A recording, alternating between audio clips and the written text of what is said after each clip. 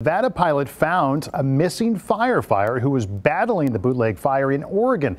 The Nevada National Guard tweeted this out earlier as they say the pilot from Las Vegas found the missing firefighter on Sunday.